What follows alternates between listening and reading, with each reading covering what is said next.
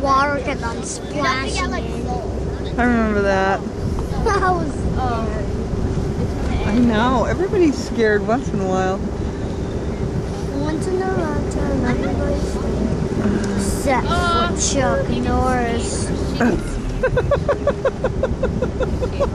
Did you hear that? Dad, did you hear that? No. Everybody's scared once in their life except for Chuck Norris. So, There's this one time he said in a movie, I'm gonna cut off your head and shave your neck. Yeah, let's not let's not be talking about that too much longer. I know what it is that you guys are so frightened.